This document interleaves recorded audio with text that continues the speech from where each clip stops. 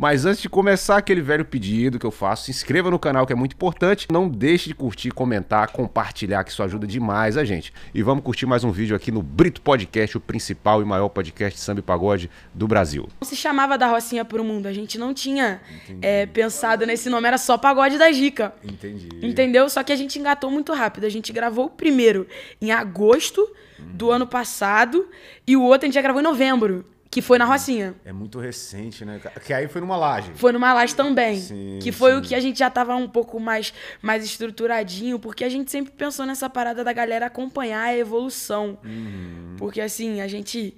A gente sempre pensou nisso, a gente sempre virou e falou, mano, vamos fazer e vamos sentir. E, e aí, quando a gente gravou o primeiro, a gente tinha 10, no segundo a gente já tinha uns 20. Que a gente já tinha feito show pra como Guardou. pegar e fazer um. É, sabe, fazer um caixa, né? E ele também pegou muito dinheiro dele investir, tá ligado? Porque, né, os shows, mano, era. A gente tinha que pagar o custo. Era o, o que importava. A gente ia fazer o show na cara e na coragem, pagando o custo. E o que sobrava, que era, porra, sobrava o quê? 100, pra... 100 pau? 100 pau. Quando sobrava.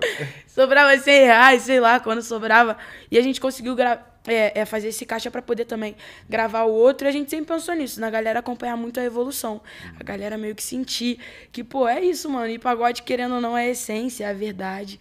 Mano, E, e Lágrimas Vão e Vem foi no primeiro? foi no primeiro, foi no E primeiro. como é que essa música chegou? Porque foi um divisor de águas pra você Foi também, tudo. né, Mano, a música eu falo em todos os shows, em todos os lugares que eu vou, que foi a música que mudou e tá mudando a minha vida.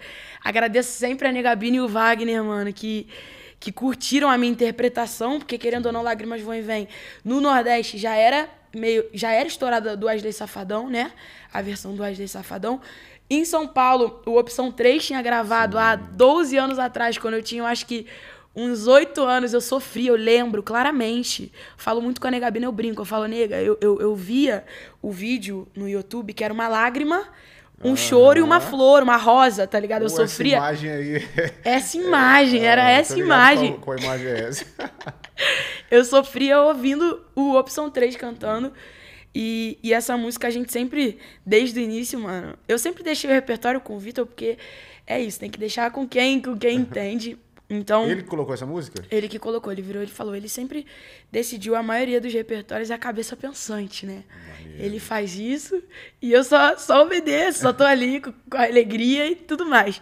É e aí quando falar ele. isso, né? Que a galera não sabe, né? É Vamos. importante falar, né? Porque Sempre. foi, é, foi uma música, assim, claro, teve um trabalho, mas assim, Sim, essa música, música. foi um divisor de águas, né? Se não tivesse ela, talvez, né? Não teria acontecido. Foi uma música, foi uma música.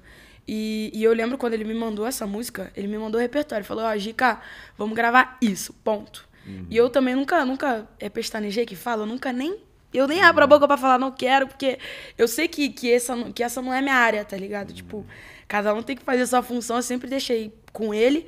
Sempre falei, ó, você decide o repertório, você faz tudo, porque eu sei também que tem muita coisa que, que ele me blinda de, em vários aspectos. Eu acho que é, que sei lá, a gente, a gente sempre a gente sempre brinca que a gente sempre viu a parceria de tipo assim de, de, de várias pessoas que são referência pra gente. Pô, a gente viu o Thiaguinho e o Gabriel Barriga crescendo, evoluindo nessa parada, o Vitinho o Baíca crescendo, evoluindo nessa parada.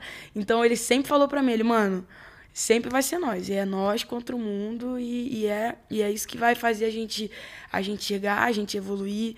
É, minha mãe, eu dei graças a Deus que minha mãe e meu pai amaram ele de cara, assim, porque quando mãe não gosta, né? É ruim. Já é mais sabe que- que, novinha, assim, tão nova, né? Já chegando alguém pra É cuidar isso. da carreira, né? Mas ele é novão também, ele é novão, tem 24, fez 24 agora. Então, assim, se ele me passar a perna, eu já vou passar também nele. Já falo pra ele, ó. Não me rouba, não, safado. Esse é o corte, É, não me rouba, não. Esse, é, isso aí. Esquece. E aí, eu. Foi isso, assim. A gente sempre pensou nessa parada e Lágrimas Vão e Vem. Uhum. Foi a música que, mano, virou, virou a chavinha. Eu lembro, eu lembro claramente, mano, num dia que tava. A gente já tinha lançado o Pagode da Gica, já foi pra rua com o repertório do Pagode da Gica.